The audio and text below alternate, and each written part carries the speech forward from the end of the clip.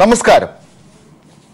കേരളത്തിലെ രാഷ്ട്രീയം ഓരോ ദിവസവും ഓരോ തരത്തിലാണ് മുന്നോട്ട് പോകുന്നത്. ലോക്സഭാ തെരഞ്ഞെടുപ്പ് പടിവാതിൽക്കൽ എത്തി നിൽക്കുമ്പോൾ എങ്ങനെയൊക്കെയാണ് കേരള രാഷ്ട്രീയം മുന്നോട്ട് പോകുന്നത് എന്ന് സർവേകളെയും പഠനങ്ങളെയും വെച്ച് ഓരോ തരത്തിൽ ഓരോരുത്തരും വിശകലനം ചെയ്യുകയാണ്. രാഷ്ട്രീയ പാർട്ടികൾക്ക് ഒരു ദിവസം ഒരു പ്രത്യേക രീതിയിൽ ആത്മവിശ്വാസം ഉണ്ടാകുമ്പോൾ അടുത്ത ദിവസം ഉണ്ടാകുന്ന സംഭവ വികാസങ്ങൾ. ഓരോ സംഘടനകളുടെയും നേതാക്കന്മാർ നടത്തുന്ന പ്രസ്താവനകൾ. ഒക്കെ തലേ ദിവസം ഉണ്ടായിരുന്ന ആത്മവിശ്വാസം പുതിയ രീതിയിലേക്ക് മാറുന്ന രീതിയിലാണ് കാര്യങ്ങൾ. അതായത് ഓരോ ദിവസവും ഓരോ രാഷ്ട്രീയ പാർട്ടികൾക്കും ഓരോ മുന്നണികൾക്കും പ്രത്യേകം പ്രത്യേകം ആഘോഷിക്കാൻ വക നൽകുന്ന സംഭവങ്ങളുമായി വോട്ടർമാർ മുന്നോട്ട് പോകുന്നു. ഒരു പ്രത്യേക സ്ഥലത്തേക്ക് മാത്രം ഒരു പ്രത്യേക കക്ഷിയിലേക്ക് മാത്രം ഒതുങ്ങി നിൽക്കുന്നില്ല. ഓരോ ദിവസത്തെയും സംഭവങ്ങൾ. യാത്രകൾക്കിടയിൽ കേരള രാഷ്ട്രീയം എങ്ങോട്ട് എന്നാണ് ഇന്ന് ന്യൂസ് ആൻഡ് വ്യൂസ് പരിശോധിക്കുന്നത്. യാത്രകൾക്കിടയിൽ കേരള രാഷ്ട്രീയം എങ്ങോട്ട് എന്നതിന്റെ ഉത്തരം ഈ രാത്രിയിൽ എന്താണ് എന്നാണ് ന്യൂസ് ആൻഡ് വ്യൂസ് പരിശോധിക്കുന്നത്. ചർച്ചയിൽ ചേരുന്നത് K P C C general secretary Shri Sarathchandra Prasad C P M നേതാവ് ശ്രീ പി പി ചിത്തരഞ്ജൻ മുതിർന്ന മാധ്യമ പ്രവർത്തകൻ എ സജീവൻ എന്നിവർ. ശ്രീ ശരത്ചന്ദ്ര പ്രസാദ് കേരളത്തിലെ ഓരോ ദിവസത്തെയും രാഷ്ട്രീയത്തിന്റെ അന്നെന്നുള്ള വിശകലനങ്ങൾക്കൊടുവിൽ അപ്പോഴത്തെ പഠനങ്ങളും സർവേ റിപ്പോർട്ടുകളും ഒക്കെ വച്ചുള്ള പ്രതീക്ഷയിൽ മുന്നോട്ട് പോകുന്നത് അപകടകരമല്ലേ ഓരോ രാഷ്ട്രീയ പാർട്ടിക്കും. അങ്ങനെ വിലയിരുത്തുമ്പോൾ ഇന്നത്തെ ദിവസം കേരളത്തിൽ നടക്കുന്ന സംഭവ വികാസങ്ങൾ ഞങ്ങൾക്ക് അനുകൂലമാണ് വോട്ടുകൾ കിട്ടാൻ. ഈ വരുന്ന തെരഞ്ഞെടുപ്പിൽ ബഹുഭൂരിപക്ഷം സീറ്റുകൾ കിട്ടാൻ എന്ന രീതിയിലേക്ക് ഏതെങ്കിലും സാഹചര്യത്തിൽ ഇപ്പോൾ പോകുന്നത് അർത്ഥവത്താണ്. സാധാരണഗതിയിൽ സർവേ റിപ്പോർട്ടുകൾ ഓരോ പാർട്ടികൾക്കും മുന്നണിക്കും ഒരു ആത്മവിശ്വാസം കൊടുക്കും. അതൊരു സത്യമാണ്. പക്ഷേ ആ ആത്മവിശ്വാസം അമിത ആത്മവിശ്വാസം ആയി മാറുമ്പോൾ അത് അപകടത്തിലേക്ക് ഞാൻ ഈ അടുത്ത ദിവസം സഖാവ് കൊടിയേരി ബാലകൃഷ്ണന്റെ ഒരു ഒരു ഒരു ഒരു യോഗത്തിലെ പ്രസംഗം ഞാൻ കേട്ടു. എനിക്ക് തോന്നുന്നു മുഖ്യമന്ത്രിയുടെയും അതുപോലൊരു പ്രസംഗം വന്നു എന്ന് തോന്നുന്നു. സർവേ റിപ്പോർട്ടുകൾ വിശ്വസിച്ച് രാഷ്ട്രീയ പ്രവർത്തനം ഒടുക്കലും നടത്താൻ കഴിയില്ല. സർവേ റിപ്പോർട്ടുകളെയെല്ലാം നമ്മുടെ പാർട്ടി പ്രവർത്തകർ പുച്ഛത്തോടെ തള്ളിക്കളയണം. ആത്മാർത്ഥമായി ജനങ്ങളുമായി ബന്ധപ്പെട്ട് പ്രവർത്തിക്കുകയാണ് ഓരോ സഖാക്കന്മാരും ചെയ്യേണ്ടത് എന്ന് സഖാവ് കൊടിയേരി ബാലകൃഷ്ണൻ പറയുന്നൊരു വാക്ക് ഞാൻ കേട്ടു.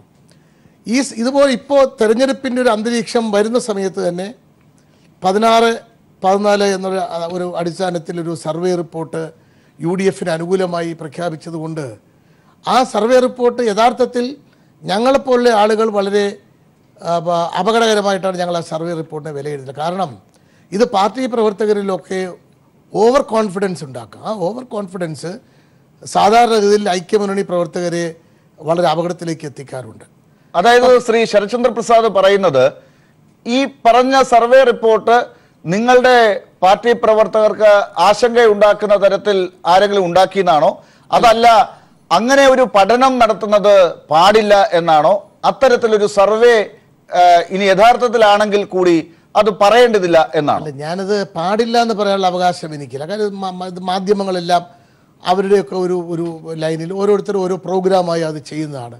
പാടില്ലെന്ന് പറയുകയല്ല. പ്രവർത്തകരെ ആത്മവിശ്വാസക്കുറവുണ്ടാകില്ല പ്രവർത്തകർക്ക് ആത്മവിശ്വാസം കൂടുന്നു എന്നുള്ളിടത്താണ്. അത് എന്നെപ്പോലുള്ള ആളുകൾക്ക് അത് അങ്ങനെ ഒരുപാട് അമിത ആത്മവിശ്വാസം വന്നാൽ അത് അത്യപകടമാണ് എന്നുള്ളതാണ് എന്റെ വർഷം ഒപ്പം ലാൽ ഇവിടെ സൂചിപ്പിച്ചൊരു കാര്യം വളരെ പ്രധാനപ്പെട്ടതാണ്.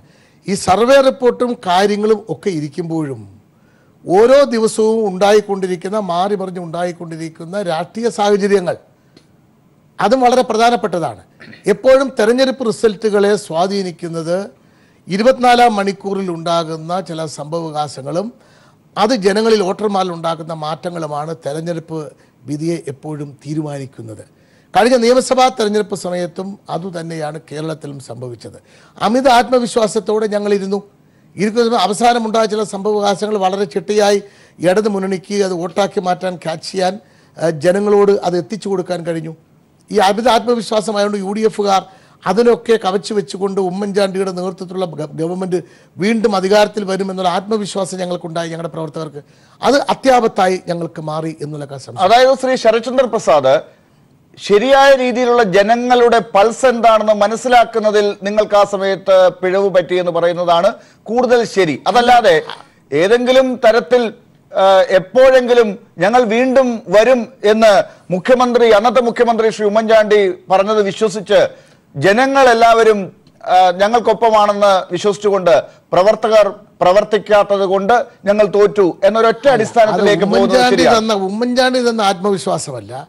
ആ ഗവൺമെന്റിന്റെ വികസന പ്രവർത്തനങ്ങളുമായി ബന്ധപ്പെട്ട് ജനകീയ പ്രവർത്തനങ്ങളിൽ ആളുകൾ മതിപ്പോടുകൂടി ആ കാര്യങ്ങൾ ഞങ്ങളുടെ പാർട്ടി പ്രവർത്തകരോട് യു ഡി എഫ് പ്രവർത്തകരോടൊക്കെ സംസാരിക്കുമ്പോഴും മാധ്യമങ്ങൾ അത് വിലയിരുത്തി അത് പ്രസിപ്പിറ്റേറ്റ് ചെയ്ത് കാണിക്കുകയൊക്കെ ചെയ്തപ്പോഴത്തേക്ക് ഒരു ഒരു അമിത ആത്മവിശ്വാസം ഉണ്ടായി ആ സമയത്ത് ഏറ്റവും ഒടുവിലുണ്ടായ ഒരു പെൺകുട്ടിക്ക് ഉണ്ടായ ദാരുണ അന്ത്യവുമായിട്ടൊക്കെ ബന്ധപ്പെട്ടുള്ള കാര്യങ്ങൾ സ്ത്രീ സുരക്ഷയുടെ വിഷയം വളരെ ഭംഗിയായി എൽ ഡി എഫിന് അന്ന് ഉയർത്തിക്കൊണ്ടുവന്ന് ക്യാഷ് ചെയ്യാൻ പറ്റി. ഒപ്പം ഗവൺമെന്റിന്റെ അവസാന മന്ത്രിസഭാ തീരുമാനങ്ങളുമായി ബന്ധപ്പെട്ട ചില കാര്യങ്ങളെ അതും പ്രചരണപരമായി എൽ ഡി എഫിന് വളരെ ശക്തമായി മുന്നോട്ട് കൊണ്ടുപോയി യു ഡി എഫിന് പ്രതികൂലമാക്കി മാറ്റാൻ കഴിയും. അതാണ് ഞാൻ നേരത്തെ പറഞ്ഞത്.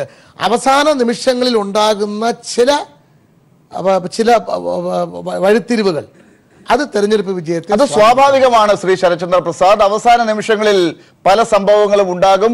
അത് നിങ്ങളാണെങ്കിലും ഉപയോഗിക്കും. ചിലപ്പോൾ അത് സത്യവുമായും ഒന്നും യോജിക്കുന്നതാകണമെന്ന് പോലുമില്ല. ആ സമയത്ത് നിങ്ങൾ നടത്തുന്ന പ്രചരണം ഒരു ചെറിയ ശതമാനം വോട്ടർമാർക്കിടയിലെങ്കിലും അത് പ്രതിഫലിക്കും. അത് വിജയത്തെയോ പരാജയത്തെയോ നിശ്ചയിക്കും. പക്ഷേ ഇന്നത്തെ ദിവസം ഇപ്പോൾ രണ്ട് യാത്രകൾ നടക്കുന്നുണ്ട്. ഈ ഇടതുമുന്നണി തെക്ക് നിന്ന് വടക്കോട്ടും വടക്ക് നിന്ന് തെക്കോട്ടും യാത്ര നടത്തുന്നുണ്ട്. അതേസമയം ശ്രീ മുല്ലപ്പള്ളി യു ഡി എഫിന്റെ കോൺഗ്രസിന്റെ യാത്ര തെക്ക് വടക്ക് നിന്ന് തെക്കോട്ടേക്ക് വന്നുകൊണ്ടിരിക്കുകയുമാണ്. ഇതിനിടയിൽ നടക്കുന്ന രാഷ്ട്രീയ സംഭവ വികാസങ്ങൾ നോക്കി ഓരോ ദിവസവും തീരുമാനമെടുത്ത് ജനങ്ങളുടെ ഇടയിലേക്ക് പറഞ്ഞു പോകാം എന്നാണോ? അതോ ലോക്സഭാ തെരഞ്ഞെടുപ്പിന് മുൻപുള്ള ഒരു ഘട്ടത്തിൽ ജനങ്ങളെ കണ്ട് എന്താണ് കഴിഞ്ഞ അഞ്ചു വർഷം നടന്നത് എന്നത് കേന്ദ്ര സർക്കാരിനെ ലക്ഷ്യം വെച്ചുകൊണ്ട് പറയുക എന്നതാണോ? എന്തിനാണ് മുഖ്യമായ അജണ്ടയായി നിങ്ങൾ കരുതുന്നത്? അല്ല ഇതിനകത്തിപ്പോ എൽ ഡി എഫിന്റെ തെക്ക് വടക്ക് യാത്രയും കോൺഗ്രസിന്റെ വടക്ക് നിന്ന് തെക്കോട്ടുള്ള യാത്രയും ഇതിനിടയ്ക്ക് ഞങ്ങളുടെ കക്ഷിയായ കേരള കോൺഗ്രസ് പ്രത്യേകമായി നടത്തിയ ജാഥയും ഒക്കെ സംസ്ഥാന രാഷ്ട്രീയവും കേന്ദ്ര കേന്ദ്ര ഗവൺമെന്റുമായി ബന്ധപ്പെട്ട രാഷ്ട്രീയവും ജനങ്ങളുമായി സംവദിക്കാൻ ജനങ്ങളുടെ കാര്യങ്ങൾ പറയാൻ ആശയപ്രചരണം നടത്താൻ. അത് ഏറ്റവും പ്രധാനപ്പെട്ടത് ദേശീയ തലത്തിൽ ദേശീയ ഗവൺമെന്റിൽ ഉണ്ടാകേണ്ട ഒരു മാറ്റം. ബി ജെ പി ഗവൺമെന്റ് വീണ്ടും അധികാരത്തിൽ തുടരുന്ന സാഹചര്യം ഉണ്ടായാൽ ഇന്ത്യയിലെ ഭരണഘടന വരെ അട്ടിമറിക്കപ്പെടുന്ന ഒരു സാഹചര്യം ഉണ്ടാകും എന്ന അപകടകരമായ ഒരു ചിത്രം ജനങ്ങളെ ബോധ്യപ്പെടുത്താനും ഒപ്പം കോൺഗ്രസിന്റെ നേതൃത്വത്തിലുള്ള ഒരു ദേശീയ മുന്നേറ്റം.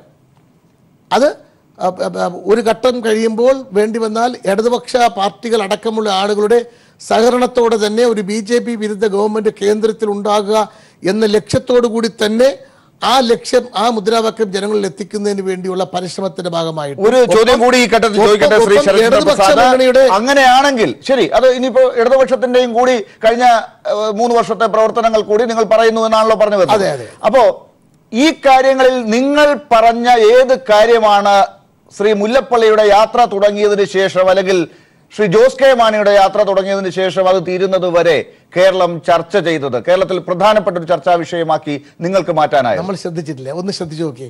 ഞങ്ങൾ പറഞ്ഞ എന്താ? ഞങ്ങൾ പറഞ്ഞത് ജനങ്ങളുടെ ഒരു മഹാ മൂവ്മെന്റ് ആയിട്ടാണ് ഒരു ഒരു മഹായാത്രയായിട്ടാണ് ഞങ്ങൾ കോൺഗ്രസ്. അതായത് ഇതൊരു ഈ മഹാരാജ്യത്തിന്റെ ശക്തി ആത്മശക്തി നഷ്ടപ്പെട്ടു പോകാതിരിക്കാനുള്ള ഒരു ജനകീയ യാത്രയായിട്ട് ഞങ്ങൾ പറഞ്ഞു. കോടിയേരി ബാലകൃഷ്ണന്റെ നേതൃത്വത്തിലും സഖാവ് കാനം രാജന്റെ നേതൃത്വത്തിലും വടക്ക് തെക്ക് യാത്ര നടത്തുമ്പോൾ അവർ പറഞ്ഞ മുദ്രാവാക്യം എന്താ? കേരള രക്ഷാ യാത്ര എന്നാണ്.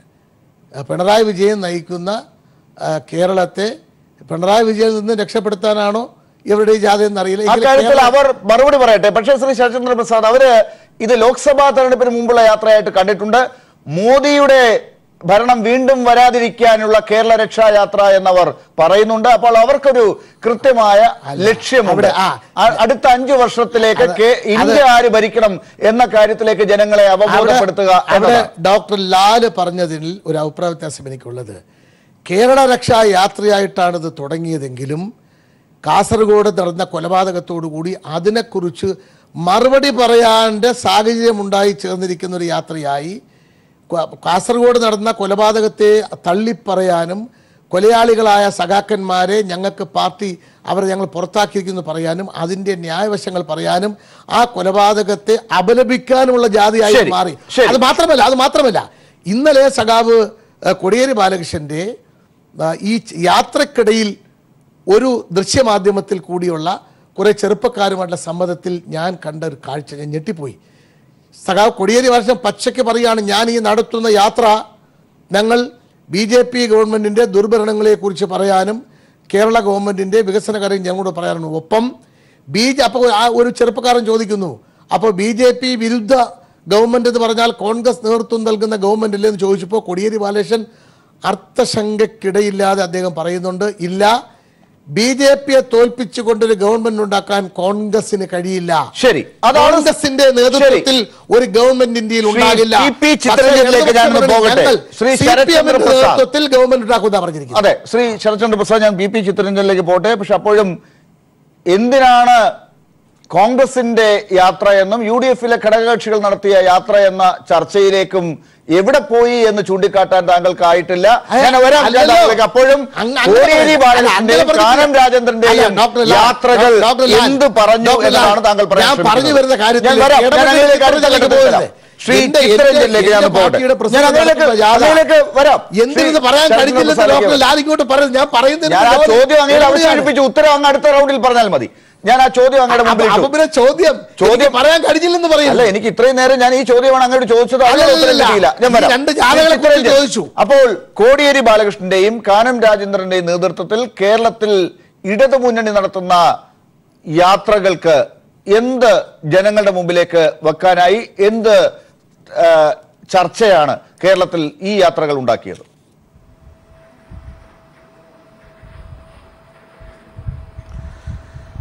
ഈ ജാ- രണ്ട് ജാ- ജാഥകളും അതിന്റെ യഥാർത്ഥത്തിലുള്ള പേര് കേരള സംരക്ഷണ യാത്ര എന്നാണ്. കേരള സംരക്ഷണ യാത്ര എന്നുള്ള ഈ മുദ്രാവാക്യം. ഒന്ന് കേരളത്തിന്റെ മതനിരപേക്ഷത കേരളത്തിലെ ജനങ്ങളുടെ ഐക്യം സാഹോദര്യം ഇതെല്ലാം ഊട്ടി ഉറപ്പിക്കാൻ കഴിയുന്ന മുദ്രാവാക്യത്തോടൊപ്പം തന്നെ. ഈ പതിനേഴാം ലോക്സഭാ തിരഞ്ഞെടുപ്പിൽ ഞങ്ങൾ മുന്നോട്ട് വെക്കുന്ന മുദ്രാവാക്യം ബി ജെ പിയെ പുറത്താക്കി രാജ്യത്തെ രക്ഷിക്കുക എന്നുള്ളതാണ്. അതോടൊപ്പം തന്നെ ഇന്ത്യയുടെ പാർലമെന്റിൽ ഇടതുപക്ഷ എം പിമാരുടെ എണ്ണം വർദ്ധിപ്പിക്കണം. മൂന്നാമത്തത് ഒരു മതനിരപേക്ഷ ജനാധിപത്യ ഗവൺമെന്റ് രാജ്യത്തുണ്ടാകണം. ഇതാണ് ദേശീയ പാർലമെന്റ് തെരഞ്ഞെടുപ്പുമായി ബന്ധപ്പെട്ടുകൊണ്ടുള്ള ദേശീയ മുദ്രാവാക്യം. അതോടൊപ്പം തന്നെ ആയിരം ദിവസമായ കേരളത്തിലെ പിണറായി വിജയൻ ഗവൺമെന്റ് വികസന രംഗത്ത് ജനക്ഷേമ പ്രവർത്തനങ്ങളിൽ ഒക്കെ ഇന്ത്യയ്ക്ക് മാതൃകയായി നടത്തിക്കൊണ്ടിരിക്കുന്ന പ്രവർത്തനങ്ങളെ സംബന്ധിച്ചിടത്തോളം ജനങ്ങളിലേക്ക് എത്തിക്കുക ആ ജനങ്ങളുമായി സംവദിക്കുക ഇതാണ് ഞങ്ങൾ ഈ ജാഥയിലൂടെ ഉദ്ദേശിച്ചത്. പിന്നെ രാഷ്ട്രീയം എന്ന് പറഞ്ഞു കഴിഞ്ഞാൽ അതിവേഗതയിലാണ് മാറി മറിയുന്നത് ഒരു പ്രത്യേക രാഷ്ട്രീയ സാഹചര്യം ഉണ്ടായാൽ അതേക്കുറിച്ച് പ്രതികരിക്കുക എന്നുള്ളത് ഏത് ഉത്തരവാദിത്തപ്പെട്ട രാഷ്ട്രീയ പാർട്ടിയുടെയും സ്വാഭാവികമായ ചുമതല തന്നെയാണ്. കാസർകൂട്ടത്തെ പെരിയയിലുണ്ടായ തികച്ചും നിന്ദ്യമായ അപലനീയമായ ആ കൊലപാതകം ഉണ്ടായ സന്ദർഭത്തിൽ അർത്ഥശങ്കയ്ക്കിടയില്ലാത്ത നിലയിൽ തന്നെ ആ കൊലപാതകത്തെ അപലപിക്കുവാനും അതിൽ ബന്ധമുള്ളവരാരെങ്കിലും ഈ പാർട്ടിയിലുണ്ടെങ്കിൽ അത്തരക്കാർക്കെതിരെ കർക്കശമായ നിലപാട് സ്വീകരിക്കുന്നത് പ്രഖ്യാപിക്കാനും. എന്തു മാത്രമല്ല പുതിയ രാഷ്ട്രീയ സംസ്കാരത്തിന് കൂടി ഈ ജാഥയിലൂടെയും അല്ലാതെ സി പി എമ്മും ഇന്ന് മുന്നിട്ടിറങ്ങിയാണ്. അത് ഞങ്ങൾ പ്രത്യാക്രമണത്തിനുമില്ല. ആക്രമണം മാത്രമല്ല ഞങ്ങൾ പ്രത്യാക്രമണത്തിനുമില്ല. കേരളത്തിൽ ഈ കൊലയുടെയും അക്രമത്തിന്റെ എല്ലാം ഒരു കാലഘട്ടം കഴിഞ്ഞു. അതാണ് കേരളത്തിന്റെ മുഖ്യമന്ത്രി വളരെ വ്യക്തമായി പറഞ്ഞിട്ടുള്ളത്. ഞങ്ങൾ അതുകൊണ്ട് എല്ലാ രാഷ്ട്രീയ പാർട്ടികളും ഞങ്ങൾ പ്രത്യാക്രമണത്തിനുമില്ല എന്ന നിലയിലൊരു നിലപാട് സ്വീകരിക്കാൻ കഴിഞ്ഞാൽ ഈ കേരളത്തിൽ അവസാനമുണ്ടായ ദാരുണമായ സംഭവമായി പെരിയേല സംഭവം മാറണമെന്ന് തന്നെയാണ് ഞങ്ങൾ ആത്മാർത്ഥമായി ആഗ്രഹിക്കുന്നത്. അതും ഞങ്ങൾ ജനങ്ങളോടൊപ്പം ഈ സന്ദർഭത്തിൽ പറയുന്നുണ്ട്. ഞങ്ങളുടെ ഈ ജാഥയിൽ ഞങ്ങൾ കണക്കുകൾ നിരത്തി വെച്ചുകൊണ്ടാണ് ഇവിടെ ബഹുമാനായ ശ്രീ ശരത്ചന്ദ്ര പ്രസാദ് പറഞ്ഞു ഇവിടെ കോൺഗ്രസിന്റെ നേതൃത്വത്തിൽ ഒരു ഗവൺമെന്റ് വരുമെന്ന് എങ്ങനെ ഉറപ്പിച്ച് പറയാൻ കഴിയും? ഇവിടെ ബി ജെ പിയെ പരാജയപ്പെടുത്താൻ നമ്മുടെ ഇന്ത്യൻ രാഷ്ട്രീയത്തിൽ കഴിയും. എന്നാൽ ഇന്ത്യയിലെ ഓരോ സംസ്ഥാനങ്ങളെടുത്ത് നമ്മൾ പരിശോധിക്കുമ്പോൾ എൺപത് സീറ്റുള്ള യു പിയിൽ കോൺഗ്രസിന് എത്ര സീറ്റ് നേടാൻ കഴിയും? അതുപോലെ തന്നെ മധ്യപ്രദേശിൽ അധികാരത്തിൽ വന്നെങ്കിൽ പോലും അവിടുത്തെ വോട്ടിൽ ഒരല്പം കൂടുതൽ നിൽക്കുന്നത് ബി ജെ പിക്കാണെന്നുള്ള യാഥാർത്ഥ്യം കാണാതെ പോകാൻ കഴിയുമോ? ഇനി വന്നാൽ പോലും ബഹുഭൂരിപക്ഷം വരുന്ന സീറ്റ് നേടാൻ കഴിയുമോ? പിന്നെ മഹാഭൂരിപക്ഷമുള്ളത് രാജസ്ഥാനാണ് അല്ലെങ്കിൽ പഞ്ചാബാണ്. ഹരിയാനയിലെ നമുക്കറിയാം ആന്ധ്രയിലതറിയാം തെലങ്കാനയിലറിയാം ഒറീസയുടേതറിയാം. അങ്ങനെ ഓരോ സംസ്ഥാനങ്ങളെടുത്ത് പരിശോധിക്കുമ്പോൾ കോൺഗ്രസിന് ലഭിക്കാൻ ഇടയുള്ള സീറ്റ് എത്രയാണ് കോൺഗ്രസിന് ഒരു നൂറ്റൻപതിൽ താഴെയല്ലാതെ മുകളിലേക്ക് എങ്ങനെ വരാൻ കഴിയും? ബി ജെ പിക്ക് ഇരുന്നൂറിലെത്തില്ല എന്ന് നമ്മളെല്ലാം ഒരുപോലെ പറയുന്നുണ്ട്. അഞ്ഞൂറ്റി നാൽപ്പത്തിരണ്ട് അംഗങ്ങളുള്ള ഇന്ത്യയുടെ പാർലമെന്റിൽ സ്വാഭാവികമായി പത്തിരുന്നൂറ് സീറ്റുകളാണ് വിധി നിർണയിക്കാൻ പോകുന്നത്. അതുകൊണ്ടാണ് ഞങ്ങൾ പറഞ്ഞത് രണ്ടായിരത്തി നാലിലെ രാഷ്ട്രീയ സാഹചര്യമാണ് ഇന്ത്യയിൽ ഉരുത്തിരിഞ്ഞു വരുന്നത്. ആ രാഷ്ട്രീയ സാഹചര്യത്തിൽ ഞങ്ങൾ എടുക്കുന്ന ഒരു നിലപാട് ഞങ്ങൾ പറഞ്ഞിട്ടുണ്ട്. ബി ജെ പിയെ പരാജയപ്പെടുത്തുന്നതിന് വേണ്ടി ഞങ്ങൾ അടകൂരമായ സമീപനം സ്വീകരിക്കും. ഞങ്ങൾക്ക് ശേഷിയില്ലാത്ത സ്ഥലത്ത് ബി ജെ പിയെ പരാജയപ്പെടുത്തുവാൻ ആരെ സഹായിക്കണമെന്ന് ഞങ്ങൾ നിലപാടെടുക്കും. ആ നിലപാട് ഞങ്ങൾ ഉയർത്തിപ്പിടിക്കുവാനത്തെ തർക്കമില്ല. ഇവിടെ തിരഞ്ഞെടുപ്പിന് ശേഷം മാത്രമാണ് നമ്മുടെ രാജ്യത്ത് ഒരു ഗവൺമെന്റ് ആരുണ്ടാക്കും എന്ന് പ്രവചിക്കാൻ കഴിയുന്ന സാഹചര്യമെന്നാണ് ഇടതുപക്ഷം വിശ്വസിക്കുന്നത്. അതാണ് ഞങ്ങൾ പറയുന്നത്. ശ്രീ ചിത്തരഞ്ജൻ ഇടതുപക്ഷത്തിന്റെ ഇടതുമുന്നണിയുടെ യാത്രകളിൽ ഈ കാര്യങ്ങൾ നിങ്ങൾ വ്യക്തമായി പറയുന്നു. അതിൽ ശ്രീ ശരത്ചന്ദ്ര പ്രസാദിനും സംശയമില്ല. പക്ഷെ അതിനിടയ്ക്ക് നിങ്ങൾക്ക് ആ കാര്യങ്ങൾക്കിടയിൽ കൂടി മറ്റു ചില കാര്യങ്ങൾ കൂടി മറുപടി പറയേണ്ടി വന്നു എന്നുള്ളതാണ് ഇപ്പോൾ ചൂണ്ടിക്കാട്ടിയത്. അതിന് മറുപടിയും ശ്രീ ചിത്തരഞ്ജൻ പറഞ്ഞു. അതേസമയം യു ഡി എഫിന്റെ യാത്രയിൽ എന്താണ് പറയുന്നത് എന്നത് കൂടി ജനങ്ങൾ കേൾക്കുന്നുണ്ടോ? അവർക്ക് കൃത്യമായി അവരുടെ നിലപാട് അറിയിക്കാനാകുന്നുണ്ടോ എന്ന പരിശോധന കൂടി വേണമല്ലോ.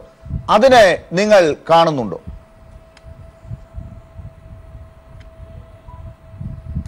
അല്ല യു ഡി എഫിന്റെ ഇപ്പോൾ ശ്രീ മുല്ലപ്പള്ളി നയിക്കുന്ന ജനമഹായാത്ര ആ യാത്രയിൽ നമ്മളിപ്പോൾ കേട്ടുകൊണ്ടിരിക്കുന്ന പ്രസംഗം അല്ലെങ്കിൽ ആ ഭാഗത്ത് കൊണ്ടിരിക്കുന്ന വാർത്തകൾ അതിനകത്ത് നരേന്ദ്രമോദി ഒന്ന് തൊട്ട് ബി ജെ പി ഒന്ന് തൊട്ട് വിട്ടിട്ട് പിന്നീട് കോൺഗ്രസിനകത്ത് തന്നെയുള്ള ഇപ്പം മൂന്നാൽ ദിവസക്കാലത്തിനുള്ളിലാണെങ്കിൽ ഈ ഉറഞ്ഞു തുള്ളുന്നത് പോലെയാണ് ഓരോ നേതാക്കന്മാർ പ്രസംഗിച്ചുകൊണ്ടിരിക്കുന്നത്.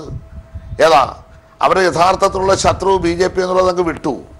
അതിന് പകരം കേരളത്തിലെ ഇടതുപക്ഷ ജനാധിപത്യ പ്രസ്ഥാനമാണെന്നുള്ള നിലയിലാണ് അവർ കാണുന്നത്. ഞങ്ങൾ ഒരിക്കൽ പോലും അത് കാണുന്നില്ല. ഞങ്ങൾ വരാൻ പോകുന്ന വലിയൊരു അപകടത്തെയാണ് കാണുന്നത്. എന്നാൽ ഞങ്ങൾ ഇതിനകത്ത് മറ്റൊരു കാര്യം പറയുന്നുണ്ട്.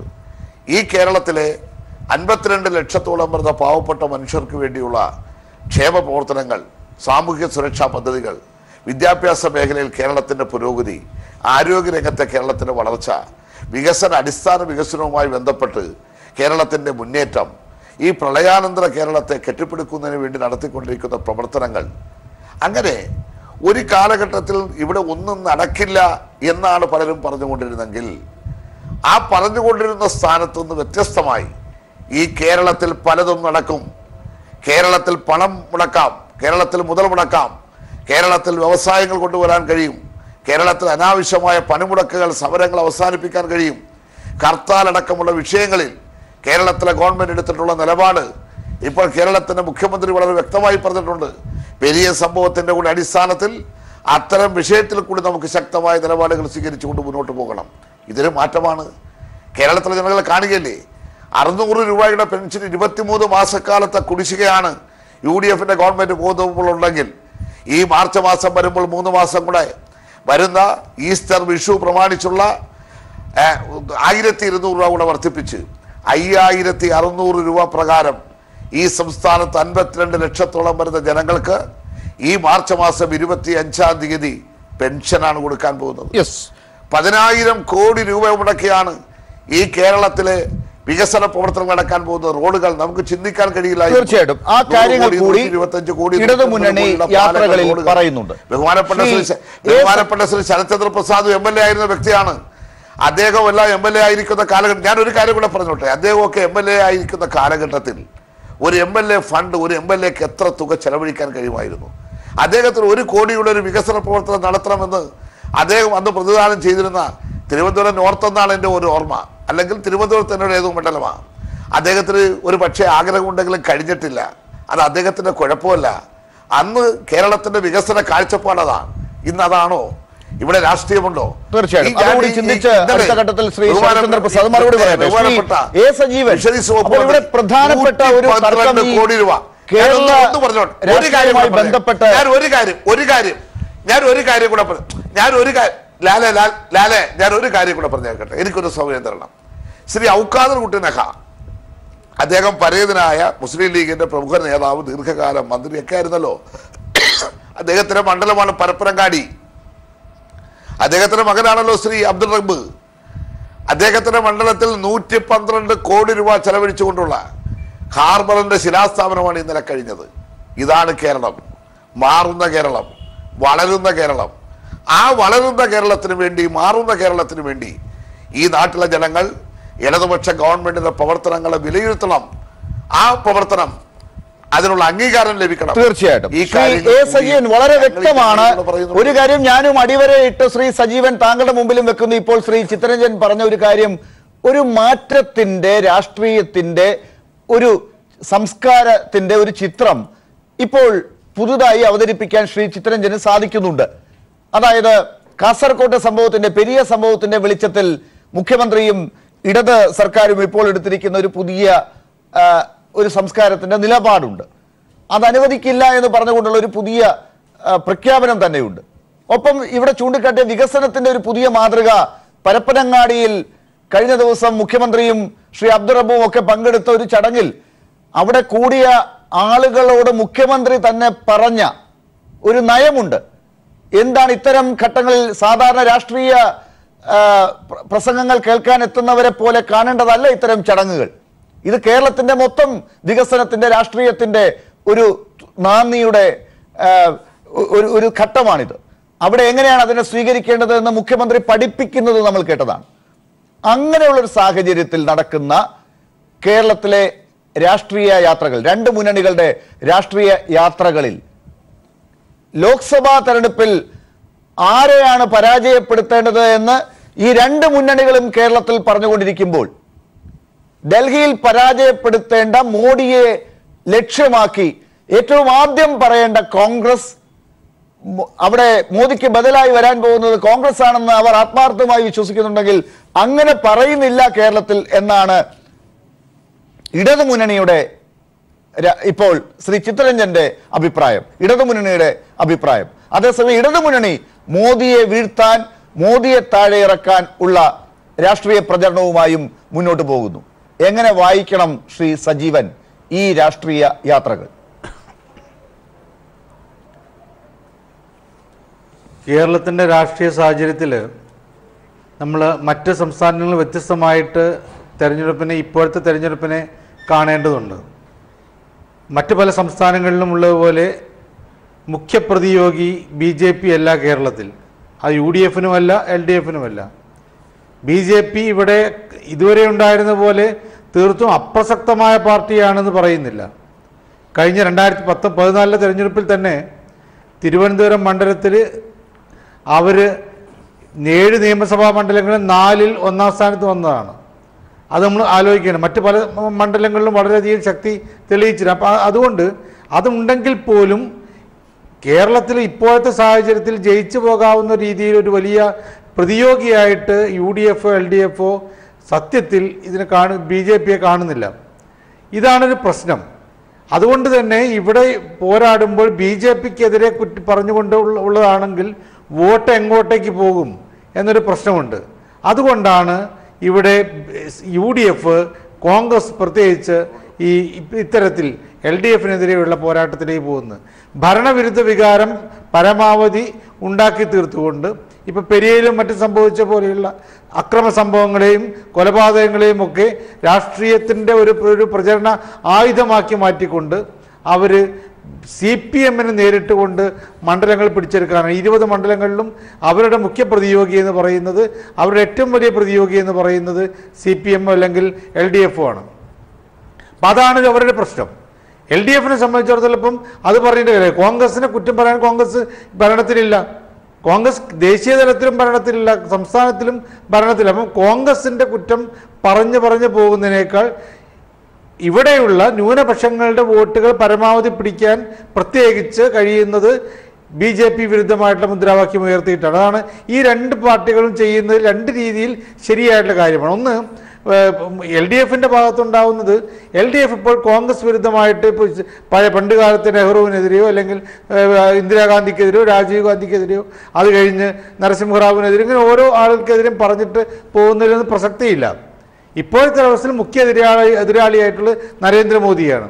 അപ്പം അതുകൊണ്ട് ശക്തമായ രൂപത്തിൽ എൽ ഡി എഫ് ആ ആയുധം തന്നെ ഉപയോഗിക്കും. അവർക്ക് മാത്രമല്ല കേരളത്തിലുള്ള കിട്ടാവുന്ന ഷെയർ ചെയ്ത് പോകാവുന്ന വോട്ടുകളിൽ ഹിന്ദുത്വ ഭൂരിപക്ഷം പര പരമാവധി തട്ടിയെടുക്കാൻ വേണ്ടിയിട്ട് ബി ജെ പി ശ്രമിച്ചുകൊണ്ടിരിക്കുന്നുണ്ട്. ബാക്കിയുള്ള വോട്ടുകൾ ഇത് ഹിന്ദു വോട്ടുകൾ പരമാവധി ഇത് ഷെയർ ചെയ്ത് പോകാനുള്ള സാധ്യതയുണ്ട്.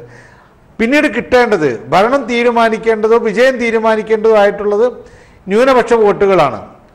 ആ ന്യൂനപക്ഷ വോട്ടുകളും ദളിത് വോട്ടുകളും പരമാവധി സംഘടിപ്പിക്കാനുള്ള ഒരു ശ്രമമാണ് സത്യത്തിൽ എൽ ഡി എഫ് നടത്തിയത് അതുകൊണ്ടാണ് ഒരു കാര്യം പറയുന്നത് ഭരണത്തിന് നേട്ടമായിട്ട് ഈ പറയുന്ന രൂപത്തിൽ നേരത്തെ പരപ്പനങ്ങാടിയുടെ ചിത്രരഞ്ജനൊക്കെ പറഞ്ഞില്ലേ?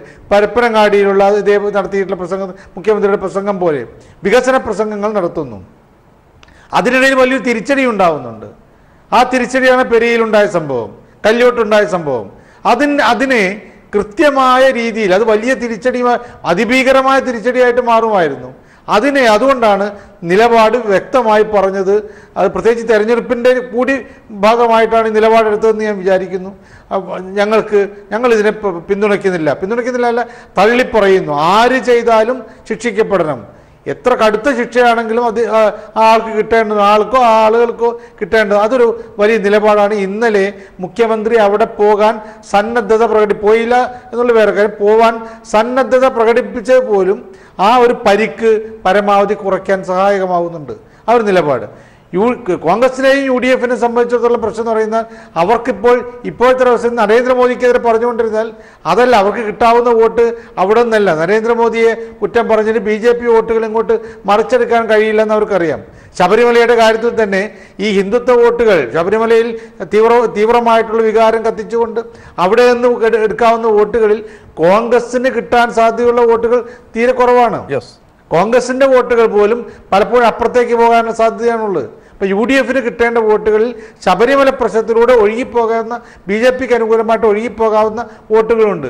പിന്നെ പിടിച്ചെടുക്കേണ്ടത് ഇവിടെയുള്ള മറ്റാളുകൾ സർക്കാരിനെതിരെയുള്ള വികാരം ഉണർത്തിയിട്ട് പറയുക എന്നുള്ളതാണ്. അതുകൊണ്ടാണ് അവരിപ്പോഴും ഇത് സ്വന്തം രാഷ്ട്രീയ കക്ഷിയിലെ തന്നെ രണ്ട് പ്രവർത്തകർ യുവ പ്രവർത്തകരാണ് കൊല്ലപ്പെട്ടത് ശരത്തും കൃപേഷും.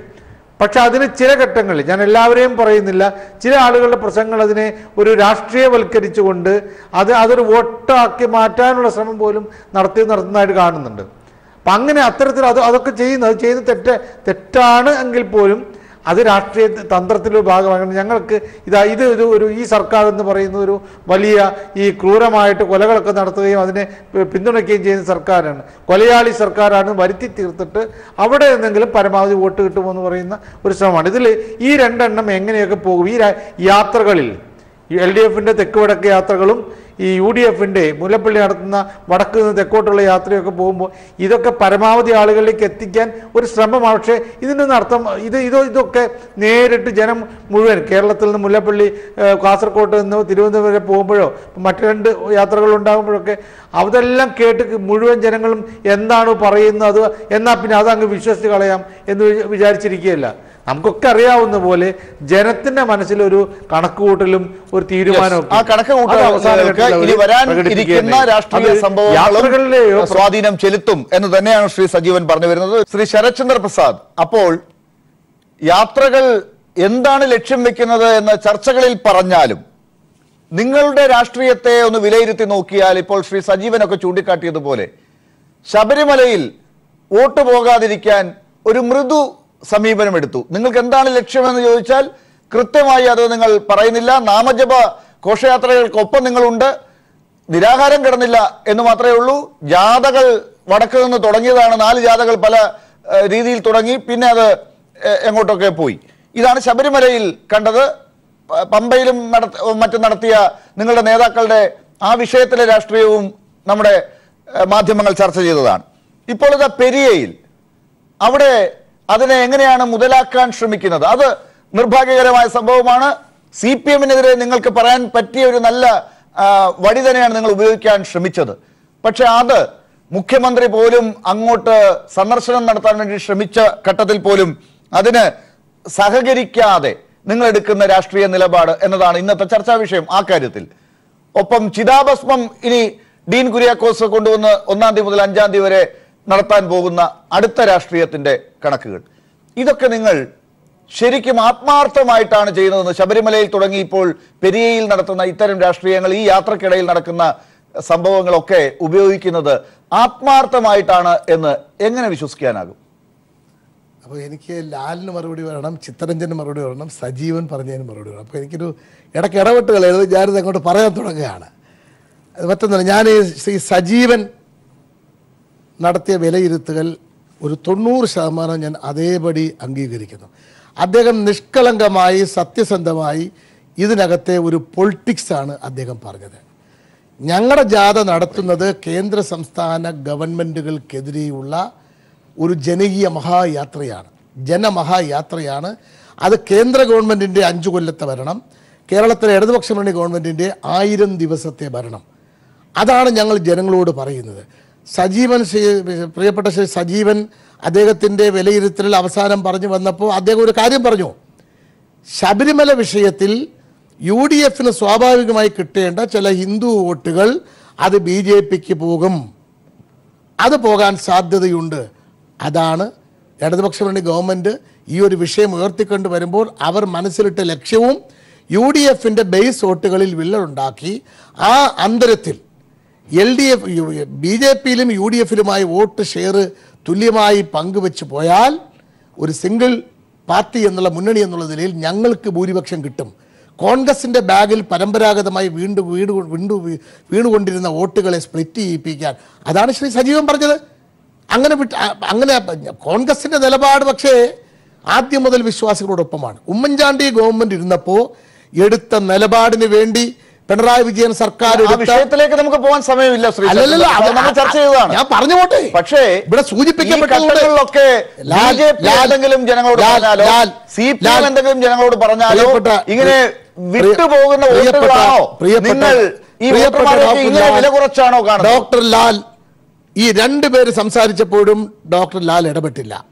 ഞാൻ കാര്യങ്ങൾ ശബരിമല വിഷയം ഞാൻ ശബരിമല വിഷയം ചർച്ച ചെയ്യല്ല. ഇവിടെ സജീവൻ സൂചിപ്പിച്ചപ്പോൾ എനിക്ക് പിന്നെ ആ വിഷയം പറയേണ്ടത് പറയാത്ത ഡോക്ടർ ലാൽ. അപ്പോൾ എനിക്കത് മറുപടിയുള്ള ബാധ്യതയുണ്ട്. അത് ഇടതുപക്ഷ മുന്നണിയുടെ ഗൂഢതന്ത്രത്തിന്റെ ഭാഗമാണ് ശബരിമല വിഷയം ഉണ്ടായത് എന്ന് സൂചിപ്പിക്കാനാണ് ഞാൻ ഈ പറഞ്ഞത്. പിന്നെ ഇടതുപക്ഷ മുന്നണി ഇപ്പോൾ ഇവിടെ ശ്രീ ചിത്തരഞ്ജൻ പറഞ്ഞ കാര്യങ്ങളാണ് ഈ ജാഥയെ പറയുന്നതെങ്കിൽ യഥാർത്ഥത്തിൽ ഇന്ന് ബി ജെ പിയുടെ ഒരു പ്രതിനിധിയായി ചർച്ചയെ വിളിക്കാത്ത നന്നായി. ആ ജോലി കൂടെ ശ്രീ ചിത്തരഞ്ജൻ ചെയ്തിട്ടുണ്ട്. കോൺഗ്രസിന് ഇവിടെ കേന്ദ്ര അവർ പറയുന്നത് ഞങ്ങൾ ബി ജെ പിയെ താഴെ ഇറക്കാൻ വേണ്ടി പ്രചരണം നടത്തുന്നു എന്നാ. എന്നിട്ട് ചിത്രരഞ്ജൻ പറഞ്ഞ എന്താ? ഞങ്ങൾ ഈ ജാഥകളിൽ ചോദിക്കുന്നത് കോൺഗ്രസ് യു പിയിലുണ്ടോ? കോൺഗ്രസ് മധ്യപ്രദേശിലുണ്ടോ? കോൺഗ്രസ് മഹാരാഷ്ട്രയിലുണ്ടോ? കോൺഗ്രസ് രാജസ്ഥാനിലുണ്ടോ? നിങ്ങൾ എവിടെ ജയിക്കാൻ പോകുന്നു? ഇതാ ചോദിക്കുന്നേ. അദ്ദേഹം പറഞ്ഞു അപ്പൊ ബി ജെ പിക്ക് വേണ്ടിയാണ് ഈ ജാഥ ഇവർ നടത്തുന്നത്. അപ്പൊ ഇനി അടുത്ത ബി ജെ പി ജാഥ അതായത് ഉത്തർപ്രദേശിൽ നിങ്ങളാണ് ഇനി വരാൻ പോകുന്നത് ഞാൻ ചോദിക്കുന്നത് ഞാൻ. ചോദിക്കുന്നത് ആദ്യമേ ആദ്യം ചിത്തരഞ്ജൻ ഹരിയാനയിലും മറ്റ് സംസ്ഥാനങ്ങളിലും ഒക്കെ ആന്ധ്രയിലും ഭരിക്കാൻ ഈ ലാലെ, ചർച്ച തീരാൻ സമയം എടുത്തുകൊണ്ടിരിക്കുകയാണ് എനിക്ക് പറയേണ്ട കാര്യം പറയണം. ലാൽ ഇടപെടരുത്. ചിത്തരഞ്ജൻ ഞങ്ങളെ നോക്കി വെള്ളി ചൂണ്ടുമ്പോൾ ബാക്കി വെള്ളി ചിത്തരഞ്ജന് നേരെയാ. പശ്ചിമ ബംഗാളിൽ നിങ്ങൾക്ക് എന്താ സ്ഥിതി? എന്താണ്? ഞാൻ ഞാൻ അങ്ങനെയാണ് ചോദിക്കുന്നത്. നീണ്ട കാലം ഇപ്പൊ മുഖ്യമന്ത്രി ആയിരുന്ന പശ്ചിമ ബംഗാളിന്റെ സ്ഥിതി ചോദിക്കുമ്പോൾ ലാൽ എന്നോട് ചോദിക്കാം നിങ്ങളുടെ സ്ഥിതി എന്താണെന്ന്. നന്നായി. ഞങ്ങളില്ലെങ്കിൽ ഇപ്പം നിങ്ങൾക്ക് അവിടെ സ് നിലനിൽപ്പില്ല. കോൺഗ്രസ് ഇല്ലെങ്കിൽ സി പി എമ്മിന് പശ്ചിമബംഗാൾ നിലനിൽപ്പില്ലാത്ത സ്ഥിതിയിലാണ് സി പി എം അഖിലേന്ത്യാ കമ്മിറ്റി നടക്കുന്ന ഡിബേറ്റ് സ്റ്റേറ്റ് കമ്മിറ്റി നടക്കുന്ന ഡിബേറ്റ് കോൺഗ്രസ് വേണോ ഇല്ലേ എന്നുള്ളതാണ്. ഇങ്ങനെ ഇടപെടരുത്. ലാൽ ഇടപെടരുത്. ഞാൻ പറയട്ടെ. താങ്കൾ പറയൂ. ഇടതുപക്ഷ കോൺഗ്രസിനെ തള്ളിപ്പറയുന്ന ചിത്തരഞ്ജന്റെ party C P M C P I തൊട്ടടുത്ത തമിഴ്നാട്ടിൽ ഞങ്ങളോടൊപ്പമാണ്. കർണാടകത്തിൽ ഞങ്ങളോടൊപ്പമാണ്. ഈ പറയുന്ന മധ്യപ്രദേശ് അടക്കം രാജസ്ഥാൻ അടക്കം സംസ്ഥാനങ്ങളില്ല. ഞങ്ങളുടെ കൊടിയുടെ കീഴിലാണ് നിൽക്കുന്നത് എന്നിട്ട് പറയുന്നു ഞങ്ങൾ ഞങ്ങൾ കോൺഗ്രസ് ബി ജെ പിക്കെതിരെ നിങ്ങൾ ബി ജെ പിക്കെതിരെ അല്ല ചെയ്യുന്നത്. കേരളത്തിൽ യു ഡി എഫിന്റെ സീറ്റ് കുറപ്പിക്കാൻ വേണ്ടി നിങ്ങളും ബി ജെ പിയുമായി തെരഞ്ഞെടുപ്പിന്റെ ഇരുപത്തിനാലാം മണിക്കൂർ നിങ്ങൾ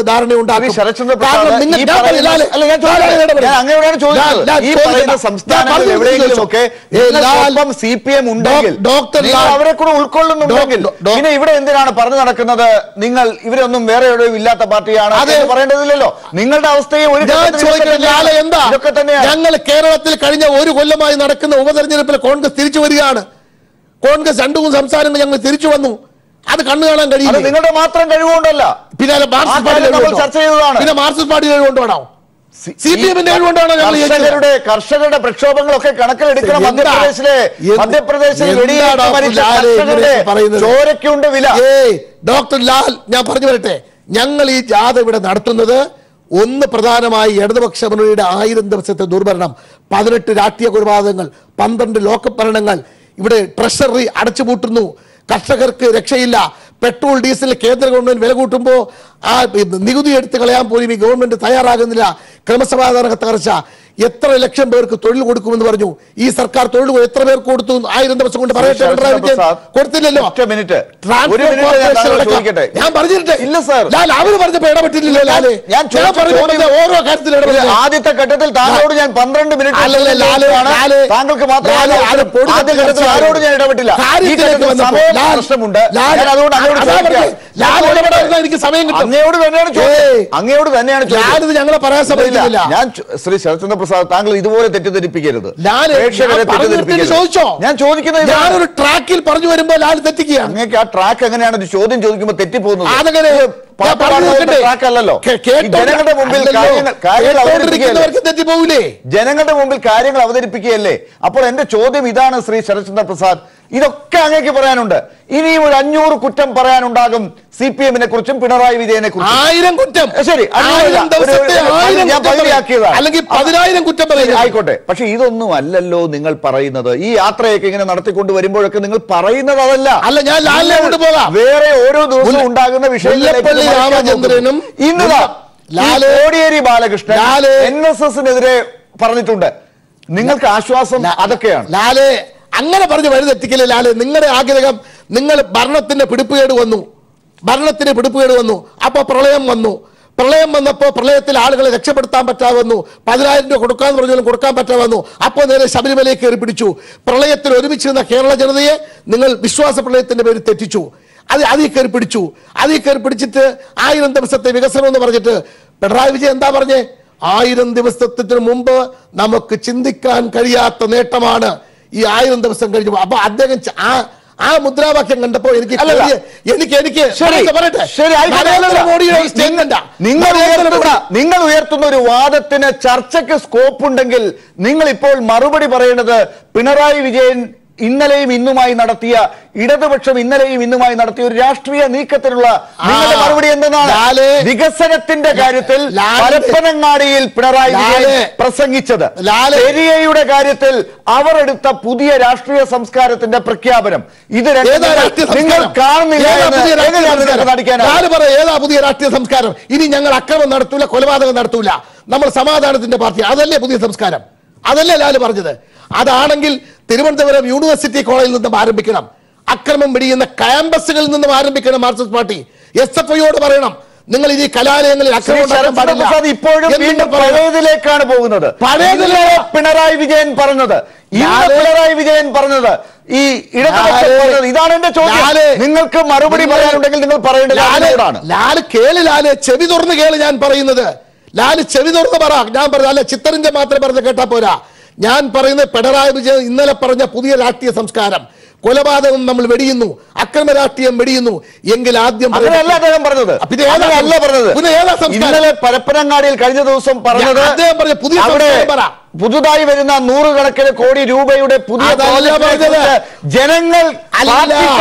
ആ വേദിയിൽ ഹർഷാരവം മുറക്കുകയും മറ്റൊരാളെ കുറിച്ച് പറയുമ്പോൾ ചെയ്ത കൂവുകയും ഡോക്ടർ കൊണ്ട് പറയിക്കരുത് എന്ന് പറഞ്ഞത് ഒരു വികസനത്തിന്റെ ഊഴൽ കൊടുക്കുന്ന നാട്ടിൽ ഒരു ഭരണാധികാരി പറയേണ്ടതാണ്. സർക്കാരിനെ കുറിച്ച് നിങ്ങൾ പറഞ്ഞതല്ല. പുതിയ സംസ്കാരമാണ്. മുഖ്യമന്ത്രി പോകാൻ പോയപ്പോൾ നിങ്ങളുടെ പാർട്ടിക്കാർ അതിനോട് സഹകരിച്ചില്ല എന്ന് കേട്ടത് ഇന്നാണ്. നിങ്ങളാണ് അപ്പോൾ ഇരട്ടച്ചങ്കുള്ള കേരളത്തിലെ മുഖ്യമന്ത്രിക്ക് സ്വന്തം സ്വന്തം ഊര് തൊട്ട് കിടക്കുന്ന കണ്ണൂർ കാസർഗോഡ് ജില്ലയിൽ ആരുടെ ഒത്താശ വേണം? ഇരട്ടച്ചങ്കുള്ള മുഖ്യമന്ത്രിക്ക് കാസർഗോഡ് രണ്ട് ചെറുപ്പക്കാർ മരിച്ചാൽ സ്ഥലത്ത് പോകാൻ ആരുടെ ഉത്തരവാദിത്തം വേണം? ആരുടെ പിന്തുണ വേണം. ഒന്ന് ഡോക്ടർ ലാലു കാര്യം ചെയ്യുന്നു. നിങ്ങൾ വികസനം പറയുമ്പോൾ അതിന് മറുപടിയല്ല. നിങ്ങൾ പിണറായി വിജയൻ മുഖ്യമന്ത്രിയാകുന്ന തെരഞ്ഞെടുപ്പിൽ പിണറായി ബൂത്തിൽ നിന്ന് എണ്ണി വെളിയിൽ വരുമ്പോൾ തുടങ്ങിയ കൊലപാതക അവിടെ തുടങ്ങിയ ആദ്യത്തെ കൊല. ഇപ്പോൾ ഏറ്റവും ഒടുവിൽ രണ്ട് ഞങ്ങളുടെ ചെറുപ്പക്കാരെ യുവ കോൺഗ്രസ്സുകാരെ കൊന്നു. അത് പറയുന്നതെന്നാണോ ലാൽ പറയുന്നത്? അത് കേരളത്തെ പത്ത് മിനിറ്റ് താങ്കളോട് പറയുന്നതാണോ ലാൽ പറയുന്നത്? ശ്രീ ചിത്തരഞ്ജൻ അപ്പോൾ ഈ കാര്യത്തിൽ ശരത്ചന്ദ്ര പ്രസാദിന് ഇപ്പോഴും പറയാനുള്ളത് പണ്ട് യൂണിവേഴ്സിറ്റി കോളേജിൽ നിന്ന് കാര്യങ്ങൾ. അല്ലെങ്കിൽ പുതിയ സംസ്കാരത്തിൽ പിണറായി വിജയൻ സർക്കാർ സത്യപ്രതിജ്ഞയിലേക്ക് പോകുന്നതിന് മുൻപ് തുടങ്ങിയ കാര്യങ്ങളെ കുറിച്ച് പറയണം എന്നതാണ്. പുതിയ സംസ്കാരത്തിൽ നിങ്ങൾ പുതുതായി അവതരിപ്പിക്കുന്ന കാര്യങ്ങളെ കുറിച്ച് അവർ കേൾക്കില്ല പ്രചരിപ്പിക്കില്ല എന്ന് നിങ്ങൾക്ക് തോന്നുന്നുണ്ടോ? അതിനേക്കാൾ ഭയാനകമായ കൊലപാതക രാഷ്ട്രീയം നടത്തുകയാണ്. അതിനേക്കാൾ ഭയാനകമായ ബി ജെ പിയെ സഹായിക്കുന്ന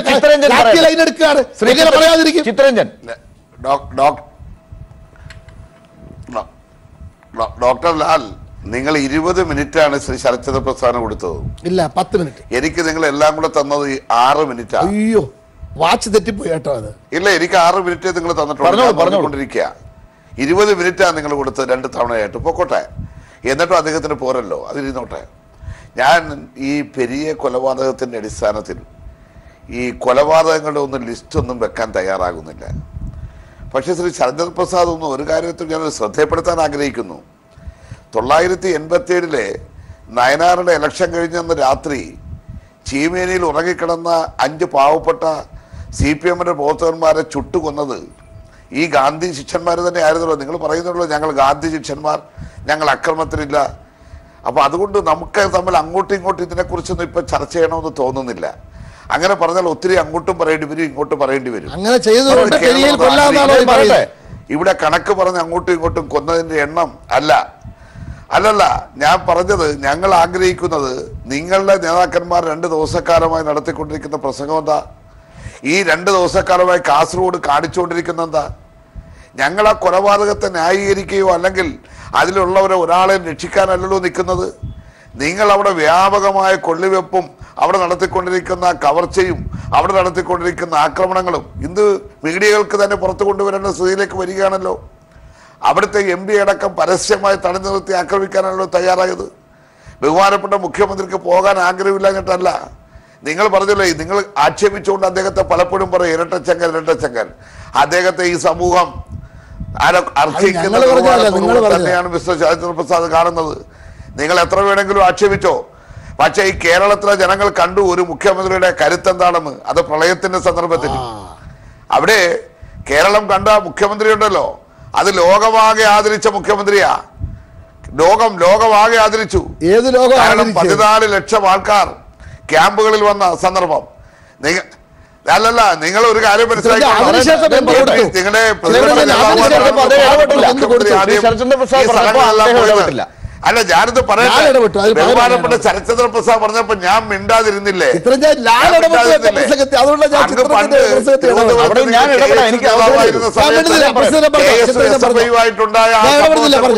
എടുക്കാരി. ഞാൻ പ- പറഞ്ഞു പറഞ്ഞു പറഞ്ഞു. ഞാനത് പറയട്ടെ. പറഞ്ഞോ പറഞ്ഞോ. അല്ല ഞാൻ മിണ്ടുന്നില്ല. ഈ കേരളത്തെ സംബന്ധിച്ചിടത്തോളം നിങ്ങൾ പറഞ്ഞല്ലോ.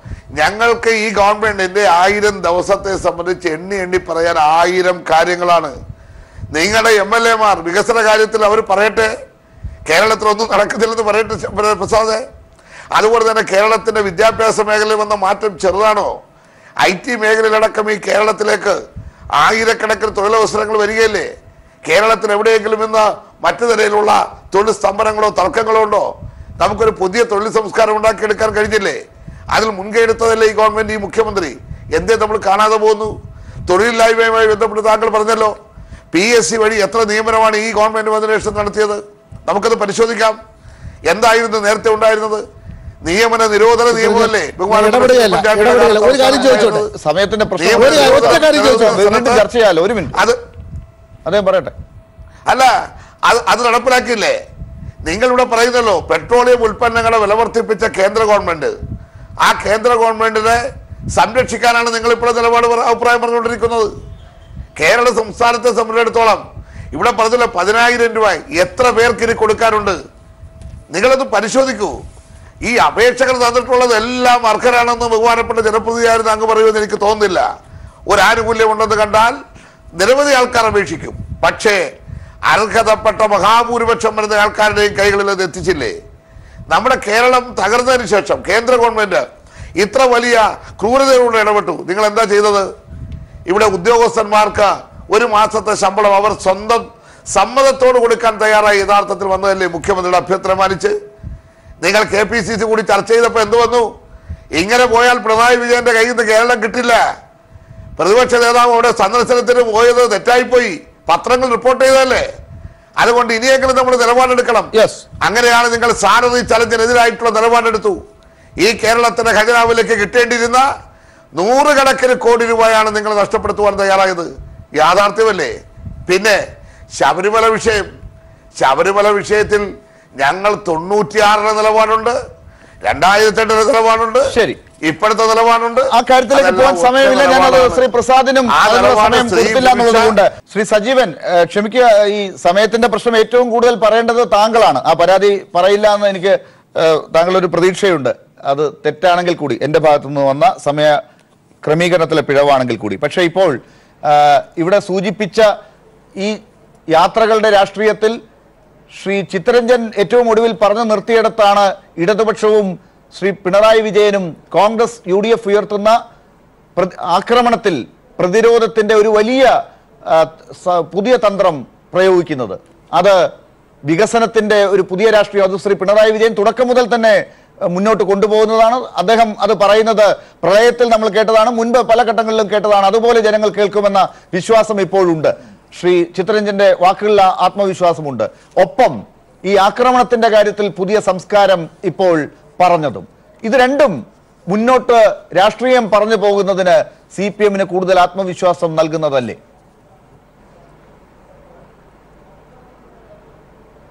ഇതിലൊരു കാര്യമുള്ള നമ്മൾ ഒരു തെരഞ്ഞെടുപ്പിന്റെ പോർമുഖത്ത് വെച്ച് എപ്പോഴുമുള്ളത് കിട്ടുന്ന ആയുധം എല്ലാം പ്രതിയോഗികൾ ഉപയോഗിക്കും എന്നുള്ള കാര്യം സത്യം ഉറപ്പാണ്. ഇപ്പോൾ യു ഡി എഫ് ആണെങ്കിലും എൽ ഡി എഫ് ആണെങ്കിലും ബി ജെ പി ആണെങ്കിലും അവർക്ക് ഈ തെരഞ്ഞെടുപ്പിൽ കേരളത്തിൽ കിട്ടാവുന്ന ഏത് ആയുധം ഉപയോഗിക്കും. അതെങ്ങനെ ഉപയോഗിക്കുന്നു എത്ര സമർത്ഥമായിട്ട് ഉപയോഗിക്കുന്നു എന്നുള്ളതാണ് ശരിക്കും നോക്കേണ്ടത്. ഞാൻ ഞാനിവിടെ നോക്കുന്നത് അതുതന്നെയാണ് തന്നെയാണ്. ഇപ്പം എൽ ഡി എഫിന്റെ അടുത്ത് എൽ ഡി എഫിന്റെ കാര്യത്തിൽ അവർക്ക് ഭരണവിരുദ്ധ വികാരം എന്നുള്ള ഒരു ആയുധം മറ്റവർ ഉപയോഗിക്കാൻ സാധ്യതയുണ്ട് എന്നുള്ളതുകൊണ്ട് അത് ഉണ്ടാക്കിയെടുക്കാനുള്ള ശ്രമം നടത്തുമെന്നുള്ളതുകൊണ്ട് കൃത്യമായിട്ടും വികസനത്തിന്റെ ചില കാര്യങ്ങൾ വയ്ക്കുന്നു ആയിരം ദിവസങ്ങളിലെ കാര്യങ്ങൾ അവർ പറയുന്നു. ചെയ്ത കാര്യങ്ങളെക്കുറിച്ച് പറയുന്നു. അതൊരു രീതിയാണ് അത് അതിന്റെ ഒരു പ്രത്യേകതയും എല്ലാവരും ഒരേ കാര്യം പറയുന്നു ഒരേ സ്വരത്തിൽ പറയുന്നു എന്നുള്ളതാണ്.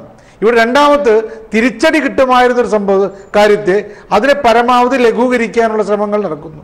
ഇനി ആയുധ ഈ അക്രമത്തിന്റെ രാഷ്ട്രീയമില്ല ചെറുത്തുനിൽപ്പിന് രാഷ്ട്രീയ രാഷ്ട്രീയമില്ല എന്ന് ഞങ്ങൾ പറഞ്ഞുകൊണ്ടാണ് ഈ മുഖ്യമന്ത്രിയും കോടിയേരി ബാലകൃഷ്ണനും ഒക്കെ അതിനെ സമർത്ഥിക്കുന്നത്. കാരണം അക്രമത്തിലേക്ക് ഞങ്ങൾ പോകുന്നില്ല പ്രതിരോധത്തിലേക്കും പോകും ഞങ്ങൾ ഒരു രീതിയിൽ അക്രമത്തിലേക്കും പോകുന്നില്ല എന്ന് അവർ പറയുന്നു. അവിടെയും അവർക്ക് ഒരേ സ്വരമാണുള്ളത്. ഇവിടെ സത്യത്തിൽ വലിയ ആയുധം വീണ് കിട്ടിയിരുന്നത് യു ഡി എഫിനാണ്. പക്ഷെ അവർ കൃത്യമായിട്ട് ഉപയോഗിച്ചു.